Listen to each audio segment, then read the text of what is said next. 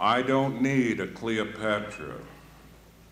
I'm always exposing myself. I go out on the front porch in my shorts, bend over, pick up the paper, and my parts fall out.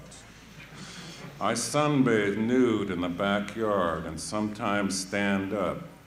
You fool, Linda says, Mrs. Catherty can see you over the wall.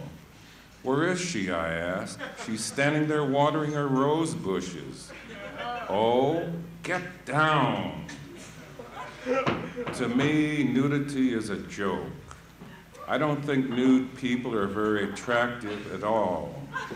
I like my women fully clothed.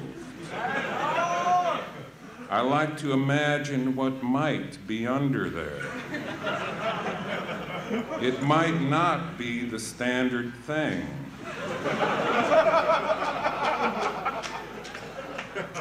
Imagine stripping a woman down and she has a body like a little submarine with periscope, propellers, torpedoes. That would be the one for me. I'd marry her right off and be faithful to the end.